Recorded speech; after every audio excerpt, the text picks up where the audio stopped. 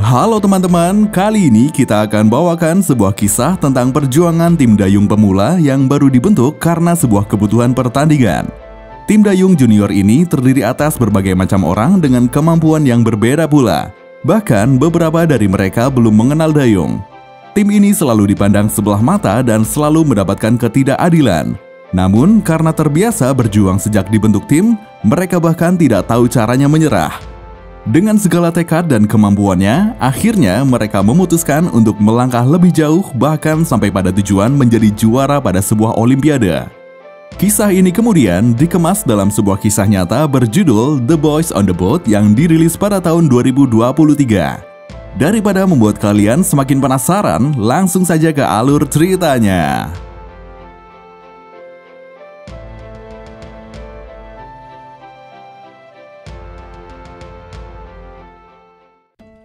Kisah ini bermula saat Jorens menerima sebuah surat tagihan pembayaran semester. Ia bergegas menemui pihak kampus untuk membicarakan situasinya. Namun, ia diberi pilihan untuk melunasinya dalam waktu dua minggu atau harus memilih pindah jurusan. Joe bergegas mendekati sebuah papan informasi untuk mencari informasi mengenai lowongan pekerjaan karena ia harus segera mendapatkan uang untuk membayar uang kuliah yang telah menunggak. Joe bertemu dengan temannya yang sama-sama sedang mencari lowongan pekerjaan. Namun sangat disayangkan semua lowongan pekerjaan sudah terisi. Joe harus mencari cara lain untuk mendapatkan uang. Joe kembali ke ruangan kelas. Ia membuka setiap lembaran buku itu. Siapa sangka, kemudian Joe dihampiri oleh seorang perempuan yang ternyata adalah temannya sejak sekolah dasar yang bernama Joyce. Ia sedikit bercerita tentang dirinya. Salah satunya adalah ia mengatakan menyukai dayung. Teman Joe yang baru datang bergabung dalam obrolan Joe dan Joyce, ia bertanya kembali tentang dayung. Joyce melanjutkan pembicaraannya. Menurutnya, bahkan bisa mendapatkan uang dari mendayung. Joe mulai tertarik dengan mendayung sejak saat itu juga. Suatu hari, Joe dan Roger mengikuti seleksi untuk tim mendayung di kampusnya. Semua orang berkumpul di halaman sebuah bangunan untuk mendengarkan arahan dari penyeleksi sekaligus pelatih. Tiga orang pelatih bernama Albrechtsen, Bols, dan Brown Masing-masing pelatih tersebut memberikan arahan terkait jalannya proses seleksi. Para pelatih ini hanya mencari delapan orang untuk menempati perahu tim junior. Dengan tegas, mereka menyatakan bahwa proses seleksinya tidak akan mudah, bahkan akan banyak orang yang mulai menyerah karena prosesnya yang melelahkan, bahkan membuat sekujur tubuh terasa sakit. Tim delapan pendayung sendiri merupakan tim olahraga tersulit di dunia karena membutuhkan stamina tubuh yang luar biasa yang tidak semua manusia punya. Karenanya, tidak semua orang cocok dengan olahraga ini. Semua orang berbaris mengantri untuk mendapatkan perlengkapan. Joe menyebutkan namanya dan mendapatkan nomor. Lalu ia bertanya berapa upah yang akan dia dapatkan, namun panitia tidak menjawab dan meneruskan pekerjaannya. Semua orang yang sudah mendapatkan nomor kembali berbaris dengan rapi. Di sini mulailah pembagian tim berdasarkan nomor urut yang mana nantinya ketiga tim ini akan menghadapi beberapa pos pelatihan. Nomor urut 1 sampai 16, kemudian nomor urut 17 sampai 32, dan nomor urut 33 sampai 48. Ketiga tim ini mendapatkan pelatih yang berbeda. Latihan pun dimulai. An oarsman must be able to much as 8 sets of 50 till it's time to change station. Alright, on my count, straight back.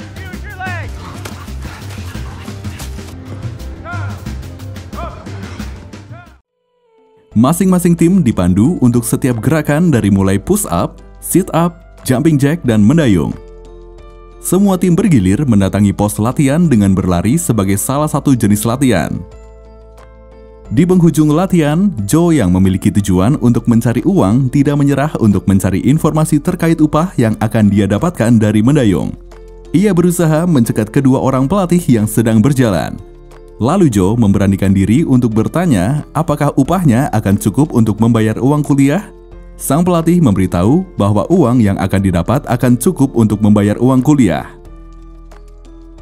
Esoknya, Joe dan Roger yang telah mengikuti latihan mendayung merasakan efek sampingnya. Sekujur tubuh mereka terasa sakit dan terasa lelah membuat mereka tertidur di ruangan dan ketahuan oleh sang dosen. Namun mereka tidak menyerah. Joe dan Roger tetap mengikuti pelatihan berikutnya. Latihan kali ini berbeda dengan latihan sebelumnya. Kali ini ada latihan untuk melatih kekompakan dan ritme dengan memotong batang pohon yang sangat besar. Mereka mendayung lagi sesuai arahan pelatih. Di balik itu, sang pelatih melakukan evaluasi pada setiap orang yang mengikuti pelatihan untuk mencari peserta yang cocok untuk menempati delapan pendayung yang masih kosong. Joe yang sedang membaca buku kembali dihampiri oleh Joyce. Ia menanyakan kesibukan Joe karena jarang terlihat. Joe memberitahu Joyce bahwa selama ini ia sibuk mengikuti seleksi mendayung. Joyce akhirnya meminta Joe membawanya naik perahu apabila Joe lolos seleksi mendayung dan Joe menyetujui permintaan Joyce. Esoknya, semua orang berkumpul pada suatu ruangan. Hari ini adalah hari diumumkannya delapan orang peserta untuk tim mendayung. Sang pelatih mulai menyebutkan satu persatu peserta yang lolos seleksi, yaitu Hume, Han, Macmillan, Day, Morris, White, Adam, Joe Rance, dan Coy sebagai cadangan. Nyari saja nama Joe tidak disebutkan. Joe akhirnya lega setelah kekhawatiran selama pengumuman berlangsung. Kini Joe bisa melanjutkan perkuliahan di jurusannya karena memiliki pekerjaan sebagai pendayung. Kedelapan peserta yang lolos berganti kostum dan masing-masing membawa dayung mereka untuk pemotretan. Malamnya, seluruh peserta yang lolos berpesta untuk merayakan kelulusan mereka. Semuanya berbahagia dan saling memuji dengan kelolosan mereka. Kini mereka akan berjuang bersama dalam tim mendayung. Semua orang bernyanyi dan berbahagia. Joe pergi memisahkan diri, ia menghampiri Joyce untuk mengajaknya naik perahu di malam itu juga.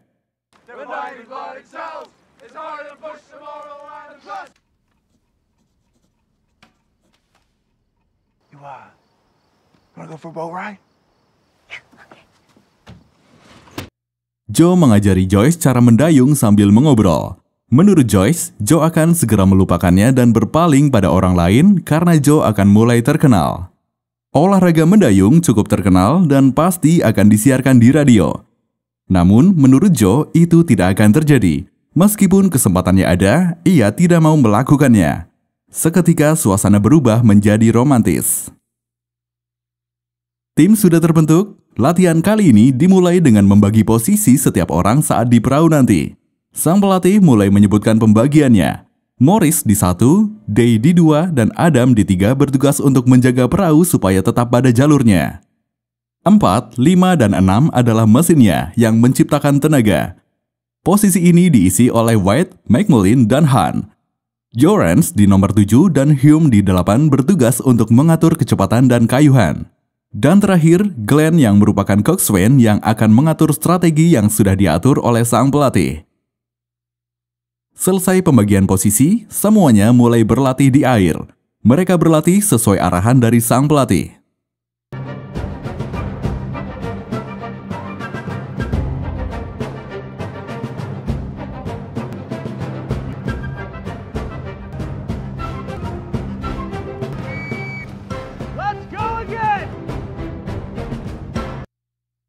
Malam harinya, Joe pergi ke sebuah ruangan tempat dibuatnya perahu. Karena tidak ada siapa pun di dalamnya, Joe mengamati satu perahu dalam posisi terbalik yang ternyata masih proses pembuatan. Kemudian masuklah seorang pria menyapa Joe. Ternyata pria itu yang membuat perahu di hadapan Joe. Ia mengajak Joe mengobrol dan memperbolehkan Joe ikut membantu. Karena sudah diizinkan, Joe mulai membantu dengan membersihkan serpian kayu yang berserakan di lantai. Mulai malam ini, Joe memiliki kegiatan baru, yaitu membantu membuat perahu. Latihan berikutnya adalah swing yang merupakan teknik mendayung. Tugas setiap pendayung adalah menarik dayung dengan sempurna pada setiap kayuhan. Setiap gerakan harus tetap selaras, tidak boleh keluar dari ritme dan tidak boleh bertentangan satu sama lain. Dalam latihan ini, White dan Day bertukar posisi. Joe dan Adam bertukar posisi.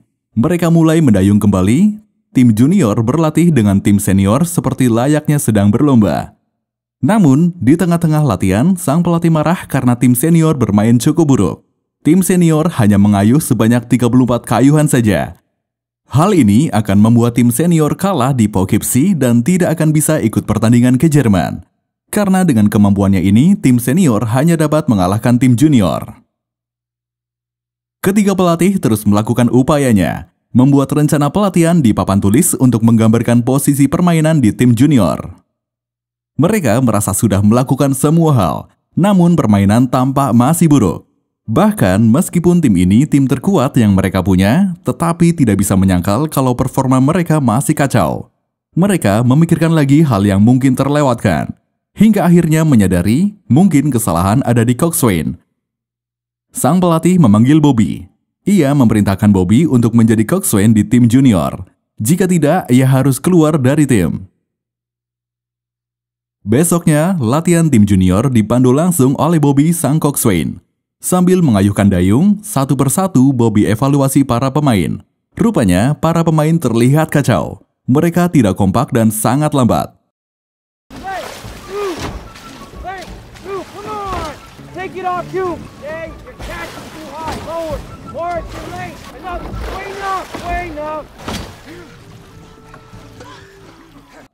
Bobby menegaskan kalau tim ini tidak ada perbaikan, maka tim ini tidak akan pernah ikut regata dan pertandingan. Karenanya, semua latihan akan sia-sia. Lalu Bobby meminta mereka mengulanginya kembali. Satu minggu sebelum pertandingan, tim junior diperlihatkan perahu baru. Perahu tersebut adalah perahu yang pembuatannya dibantu oleh Joe. Di sini, tim junior diberitahu akan melawan Cal dan meminta tim untuk segera mempersiapkan diri mengikuti latihan. Joe meninggalkan ruangan itu terakhir. Sambil mengelus perahu itu, ia memberitahu sang pelatih bahwa Joe dan tim junior akan berusaha. Pertandingan diadakan di Danau Washington. Di tepian danau sudah dipenuhi penonton yang hendak menyaksikan pertandingan tahunan antara Washington Huskies dan Cal Bears dari Berkeley dalam Pacific Coast Regatta. Balap dayung ini memiliki rute sepanjang 2,3 km dari Sandpoint hingga Sharon Beach. Kedua tim mulai memasuki arena pertandingan. Dimulai dari pelatih Albrechtsen dari Washington Huskies dengan membawa dua tim. Tim Washington Huskies sendiri membawa misi untuk memperbaiki kekalahan di tahun lalu. Selanjutnya, pelatih K.Y. Bright yang merupakan seorang pelatih legendaris dengan percaya diri memamerkan bahwa ia membawa tim junior yang hebat. Arah angin ke selatan dengan kecepatan 8 km per jam suhu 21 derajat Celcius menjadi arena pertandingan kali ini. Meskipun sang pelatih Albrechtsen meminta tim supaya tetap merapatkan barisan, namun bagi Bobby, tim junior tidak perlu mendengarkan apa yang diperintahkan sang pelatih. Namun, tunjukkan saja kemampuan yang dimiliki tim junior saat ini. Bobby sang coxswain sendiri lebih percaya pada kemampuan tim junior ketimbang Albrechtsen sang pelatih. Fluid ditiupkan dan bendera dikibaskan. Pertandingan pun dimulai. Tim junior Washington memulai dengan lambat, mereka mengikuti aba-aba dari Bobby.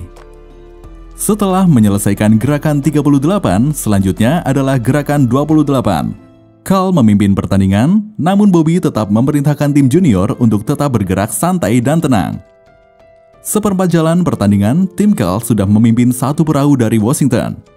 Bobby memerintahkan tim untuk tetap tenang dan santai karena tim lawannya tidak terlihat akan mengurangi kecepatan mereka. That's right. Just keep them in sight. In. Move. Don't rush. Cal, still don't move. In.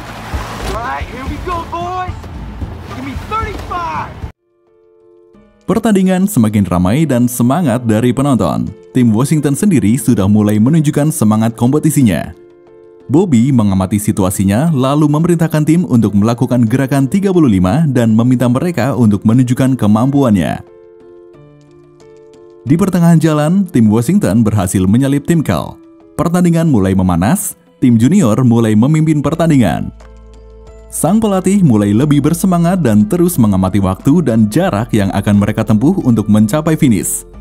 100 meter lagi, 15 kayuan lagi, 25 meter lagi dan berhasil. Tim junior Washington berhasil memenangkan pertandingan pertamanya dengan waktu 9 detik lebih cepat di bawah rekor. Semua orang bergembira dan bersorak. Tim junior melakukan selebrasi dengan menceburkan diri ke danau.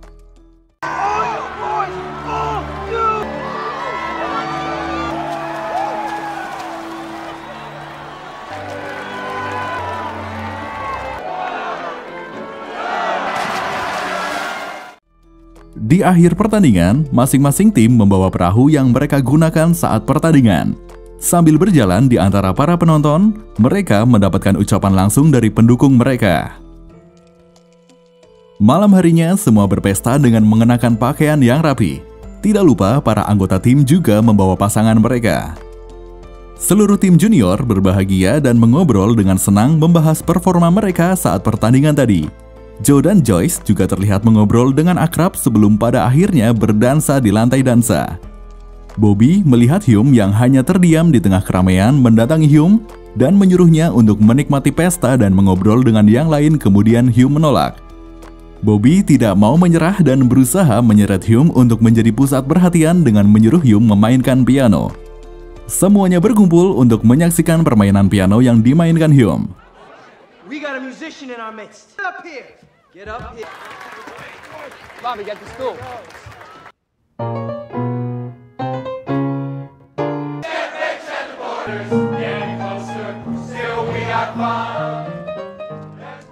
Di tengah itu, Joe dan Joyce berusaha keluar dari keramaian dan mengendap-endap memasuki kamar Joyce. Mereka hendak mengobrol, namun tiba-tiba saat suasana romantis hampir terjadi, Nona Simdars mengetuk pintu kamar untuk memastikan tidak ada pria di dalam kamar. Joe segera kabur dengan melompat melalui jendela. Sedangkan pesta semakin meriah karena semua orang bernyanyi diiring oleh permainan piano Hume. Namun, sang pelatih hanya berdiam di sebuah ruangan sambil menonton tayangan perlombaan mendayung antara Harvard dan Yale yang mana untuk kecepatannya belum ada yang bisa menyaingi. Saat itu juga, sang pelatih Albrechtsen memiliki visi misi yang lebih besar untuk tim. Albrechtsen memasuki suatu ruangan yang berisi loker untuk para pemain. Ia membuka satu persatu setiap loker dan lihat sepatu yang ada di dalamnya.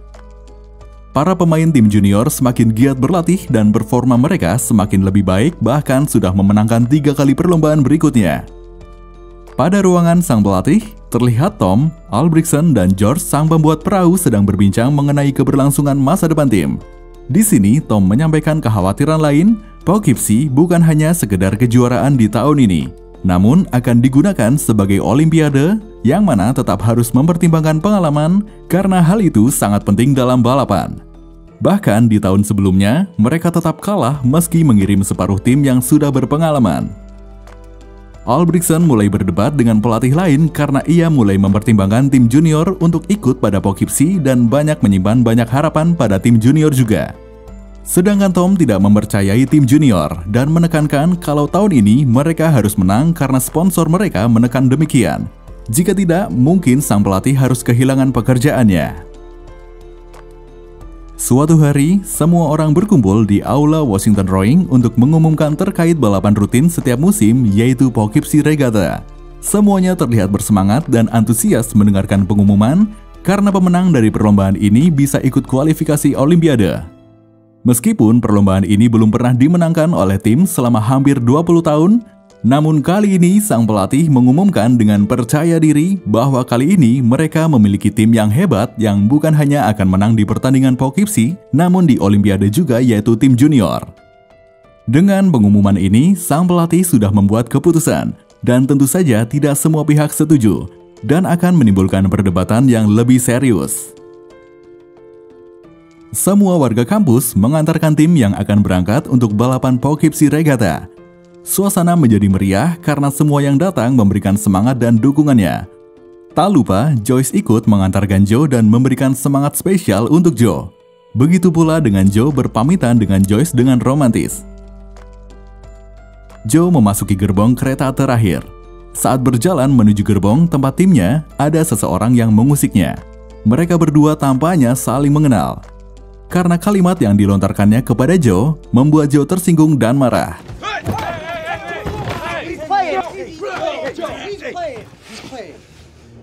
Namun, pertengkaran berhasil dilerai. Pria tadi menemui Joe setelah kejadian tadi. Ia meminta maaf dan menjelaskan semuanya. Namun Joe terlihat masih kesal dan murung. Keesokannya, tim junior mulai melakukan latihan langsung di air. Namun latihan kali ini mulai kacau. Kayuan mereka terlihat tidak kompak. Mereka berusaha beberapa kali mencoba namun tetap belum berhasil. Para pemain masih belum terbiasa dengan situasinya. Bagaimanapun, mereka pertama kali mendatangi perairan ini. Setelah beberapa kali Bobby memimpin latihan, kali ini sang pelatih ikut turun tangan. Ia memberitahu pada tim jika kemampuannya hanya seperti itu, mereka hanya akan di posisi keenam. Karena itu, sang pelatih memerintahkan mereka untuk berlatih lagi. Latihan selanjutnya tampak lebih kacau dari latihan sebelumnya, membuat semua orang marah termasuk sang pelatih. Akhirnya, ia memerintahkan tim ke tepian untuk memecahkan masalahnya. Langsung saja ia memerahi Joe, karena menurutnya Joe yang mengacaukan permainan. Ia seperti mendayung dengan ritmenya sendiri dan tidak mempedulikan rekannya yang lain. Namun Joe tidak terima dan terus melawan, hingga sang pelatih menyuruhnya pergi jika tidak siap mengikuti pertandingan. Lantas, sang pelatih langsung memanggil Koi untuk menggantikan Joe. Joe yang semakin marah langsung bergegas meninggalkan arena latihan dan segera berkemas untuk kembali. Akan tetapi, seseorang mencoba menghentikan Joe. Lalu datanglah George meminta bantuan Joe untuk memoles perahu. I'm not begging him to get my place back. I'm done with that. Hello, Roger. Down the Husky Clipper. Could use a hand.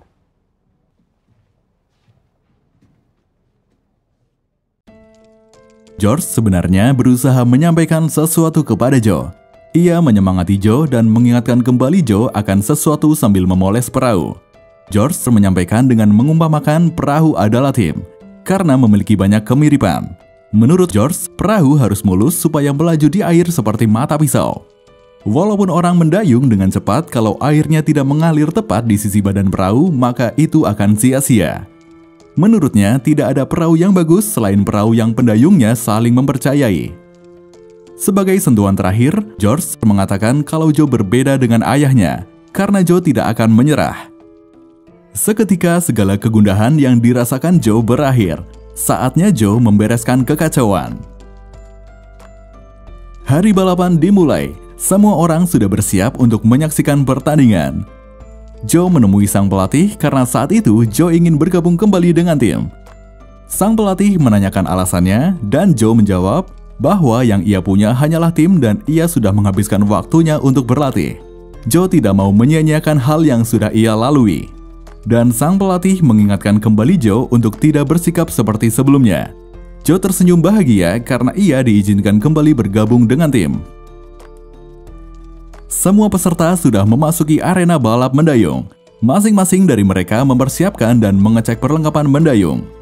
Semua pendukung yang tidak berada di arena balapan juga terlihat bersiap mendampingi jalannya pertandingan dengan mendengarkan radio. Sang pelatih mulai memberikan arahan dan strategi.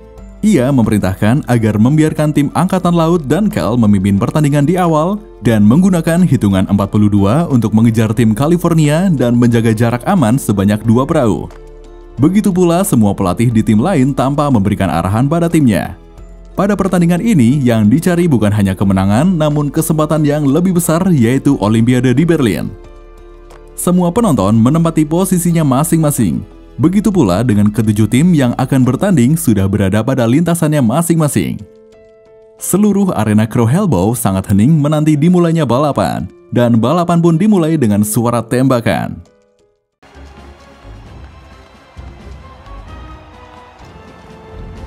Starting gun is. Washington Huskies are now rowing against the seniors of Cal. Tim Washington Huskies adalah satu-satunya tim junior di arena kompetisi. Mereka mulai dengan gerakan 28 dengan santai. Karena itu, mereka berada di urutan terakhir dengan jarak 4 perahu. Setelah menahan langkah selanjutnya, akhirnya Bobby memerintahkan untuk melakukan ke-36. Langkah ini membuat tim Washington melewati tim Syracuse setelah melewati 2,4 km. Tim lain mulai kelelahan, tidak ada yang dapat menyaingi. Tim Cal dan Angkatan Laut unggul sejauh 4 perahu. Bobby mulai beraksi dengan strateginya membuat tim Washington mulai mengejar Penn dan Columbia. Langkah berikutnya adalah gerakan 40 dan langkah ini berhasil membuat tim Washington menempati posisi ketiga setelah menyalip tim California. Kini hanya tersisa 400 meter menuju finish. 20 kayuhan tersisa tim Washington berhasil menempati posisi kedua. Bobby mengebrakan lagi strategi penuh semangatnya. Ia memerintahkan untuk melakukan 10 gerakan yang kuat. Di 200 meter terakhir, tim Washington berhasil melewati tim Cal. Hingga 100 meter terakhir, tim Cal masih belum bisa menyalip tim Washington. Semua pendukung tim Washington turut merasakan semangat pemain. Mereka tidak kalah antusias selayaknya mereka ikut mendayung. Hingga akhirnya tim Washington berhasil memenangkan pertandingan.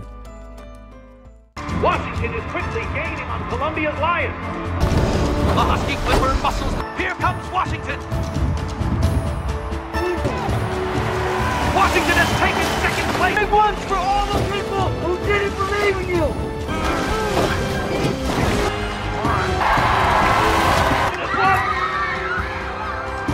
Kemenangan ini bukan hanya milik tim Washington, tetapi kemenangan pertarungan sang pelatih yang memaksa untuk mengirim tim junior ke pertandingan.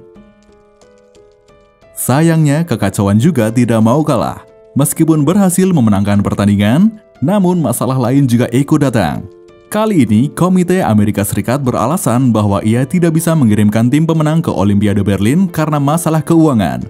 Namun, Albrechtsen merasa semua itu hanya alasan belaka. Ia meyakini bahwa alasan sesungguhnya adalah ketidakpercayaan dan ketidaksukaan terhadap tim junior Washington. Sang pelatih tidak mau menyerah, ia akan berusaha mencari uang sebanyak 5.000 dolar dalam waktu seminggu untuk mengirim timnya ke Olimpiade Berlin. Semua pihak maupun pendukung tim Washington ikut terlibat untuk mencari dana. Mereka kompak membasmi ketidakadilan. Karena jika bukan mereka yang pergi, maka tim lain yang akan pergi yang mana tim lain sudah berhasil dikalahkan tim Washington. Albrechtsen melakukan siaran radio untuk menyebarkan situasi yang dihadapi timnya. Para pemain turun langsung ke lapangan untuk meminta bantuan dari mulut ke mulut. Pihak lainnya membuat posko untuk menampung bantuan dan dukungan. Suatu malam, mereka mengumpulkan dana bantuan yang didapat hari ini. Alangkah melegakannya banyak pihak yang mendukung. Bahkan daerah tempat para atlet berasal satu persatu mengirimkan dukungannya. Dana memang hampir terkumpul, namun waktu mereka habis. Semua orang di ruangan itu merasa hampir putus asa. Namun datanglah istri Albrechtsen dan KY sang pelatih Kelber. Pada awalnya, ia datang membuat suasana semakin keruh dengan mengatakan timnya siap maju. Namun seperti sebuah keajaiban, ia justru membantu pada detik-detik terakhir dengan meminjamkan kekurangan sebesar 300 dolar atas nama timnya. Dengan terkumpulnya 5.000 dolar yang mereka cari, maka tim junior Washington bisa ikut Olimpiade Berlin. give or take. No one deserves to go but your boys. And if there's any extra, you can bring me back a souvenir. Hari Olimpiade sudah mulai dekat. Seluruh atlet dari berbagai cabang olahraga sudah mulai berdatangan. Satu kapal pesiar besar berisi atlet dari Amerika Serikat sudah siap berlabuh di Hamburg dan semua warga Jerman sudah siap menyambut. Setelah menyimpan perlengkapan, mereka langsung bergegas menuju arena pertandingan untuk mengecek. Esok harinya, Don tidak mengikuti seremonial pembukaan Olimpiade karena tidak sehat. Ia terlihat pucat dan demam. George yang datang bersama sang pelatih memutuskan untuk menjaga Don dan menyuruh sang pelatih segera ke arena seremonial. Satu persatu atlet dari masing-masing negara memasuki arena seremonial dengan membawa bendera negaranya. Don yang sakit dirawat oleh George dengan telaten. Tibalah hari balapan dayung, semua pendukung dan pihak terkait sudah berada di tepi danau. Suasana kali ini diselimuti angin yang kencang. Dalam balapan kali ini akan ada tiga babak penyisihan, dan pemenang setiap babak akan otomatis memasuki final. Sebelum dimulai, sang pelatih memberikan arahan terakhir kalinya untuk kelancaran dan keberhasilan tim. Ia secara spesifik memerintahkan setiap orang termasuk Bobby sang coxswain yang sempat membuatnya panik pada pertandingan sebelumnya. Ia menekankan kembali untuk lebih serius bertanding dan membawa medali emas. Pertandingan dimulai, tim Amerika memimpin setengah perahu di depan Inggris. Urutan selanjutnya ada Prancis dan Cekoslovakia. Berlanjut Prancis mengejar yang berusaha mengejar Inggris berada di posisi ketiga. Tim Amerika terus melaju dan semakin unggul hingga akhirnya berhasil memenangkan balapan dengan rekor Olimpiade baru yaitu 6 menit 8 detik.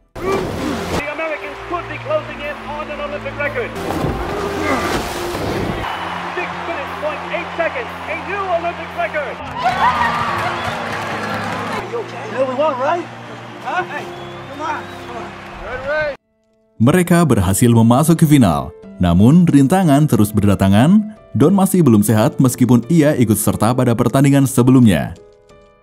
Kali ini Don tumbang di arena penonton, lalu ia segera dibawa ke pusat kesehatan. Hasilnya adalah Don harus beristirahat terlebih dahulu. Namun jika dua hari masih belum ada perkembangan, maka ia tidak bisa mengikuti pertandingan. Berita buruk setelah informasi pembagian jalur diterima. Bentuk kecurangan terjadi lagi. Peraturan yang ada membuat tim dengan waktu tercepat menempati jalur tengah. Namun kenyataan yang ada tim Amerika berada di jalur luar. Sang pelatih mencoba untuk protes namun gagal. Ia harus menerima kenyataan yang ada. Tidak mau membuang kesempatan, tim Amerika memanfaatkan momen untuk terus berlatih bahkan di dalam kamar. Dari berlatih mendayung hingga menyusun strategi. Tidak kalah berjuang, George bersama Joe memoles perahu yang akan digunakan supaya lebih maksimal membelah perairan saat pertandingan nanti. Hari balapan mereka akan segera tiba, namun kondisi Don belum membaik. Penentuan kejuaraan pada Olimpiade akan segera dimulai. Semua orang sudah bersiap di tepi danau. Pendukung yang tidak hadir di arena juga sudah bersiap dengan radio di hadapannya. Albrechtsen tidak lupa memberikan arahan sebelum bertanding. Ia memberitahu tim bahwa jalurnya akan sulit, namun mereka memiliki kesempatan menyalip pada jarak 500 meter. Ia juga menekankan bahwa tim ini satu-satunya tim yang tidak pernah memiliki sejarah maupun pengalaman. Namun mereka harus lebih percaya diri dan tetap menjaga semangat demi nama negara. Dan ia akan tetap bangga pada tim ini apa pun yang terjadi. Keenam tim yang memasuki final akan segera bertanding, yaitu Jerman, Italia, Hungaria, Swiss, Inggris, dan Amerika. Pertandingan sangat meriah dan lebih meriah lagi saat Hitler datang langsung ke arena seperti janjinya. Seluruh pendukung bersorak menyebutkan nama negaranya. Sebelum pertandingan benar-benar dimulai, Bobby memastikan sekali lagi keadaan Don yang berada di depannya. Semua bersiap dan mulai. Tim Amerika memulai dengan gerakan 28. Mereka terlambat memulai karena tidak bisa mendengar aba-aba dan berada di posisi terakhir tertinggal jarak satu perahu. Untuk mengejar ketertinggalan, langkah selanjutnya adalah gerakan 30. Lalu gerakan 40, Don terlihat tidak baik-baik saja, warna tubuhnya semakin pucat dan rautnya menunjukkan kondisinya yang tidak baik-baik saja. Jerman berada di belakang Italia dan diikuti Inggris, sedangkan tim Amerika masih paling akhir di belakang Hungaria. Don terlihat semakin kehilangan kesadarannya, performannya semakin menurun, namun Bobby terus membisikkan semangatnya supaya Don tersadar kembali. Come on. Come on, Don. Come on, Don. You gotta give me 40. You have it. Come on, Don. Come on. Oh, that's honey. And we got. That's right, Don. And here comes the United States for the burst. Menjelang 500 meter, tim Amerika berhasil melesat menyusul Hungaria dan Swiss. Tim Jerman masih di posisi pertama disusul oleh Italia dan Inggris. Setelah berhasil menyalip, tim Amerika mengeluarkan gerakan 42 sehingga berhasil mengambil posisi Inggris pada urutan ketiga. Medali emas di depan mata, langkah selanjutnya adalah gerakan 46 untuk menyusul tim Jerman dan Italia. 300 meter sebelum finish, posisi ketiga tim sejajar. Bahkan hingga 100 meter terakhir, posisi ketiga tim masih sejajar. Pertandingan semakin menegangkan dan ketat, semua penonton berdiri dengan antusias menyambut akhir pertandingan. Hingga pada garis finish, ketiga tim terlihat datang bersamaan.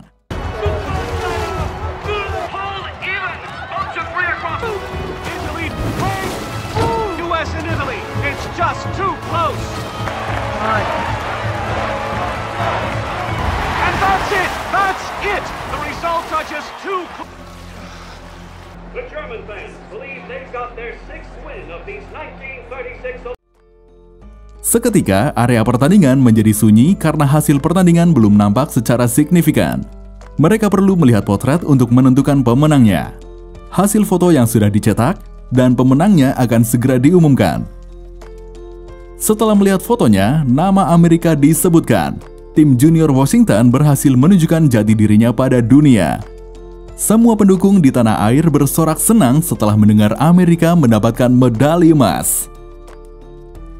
Semua perjuangan terbayarkan. Kini tim junior Washington mendapatkan hadiah besar. Kebahagiaan mereka tak terhingga. Sang pelatih Albrechtsen lebih senang lagi. Perjalanan mereka mendapatkan hasil yang sepadan. Sebuah gelar juara dan sebuah medali emas untuk mengharumkan nama timnya, nama kampusnya, dan nama negaranya. Tim ini tim terbaik yang pernah dimiliki Albrechtsen. Setelah ini, tidak ada satupun orang yang boleh meremehkan mereka. Seperti itulah kisah tentang perjuangan tim dayung pemula yang baru dibentuk karena sebuah kebutuhan pertandingan. Terima kasih dan sampai jumpa di alur cerita selanjutnya.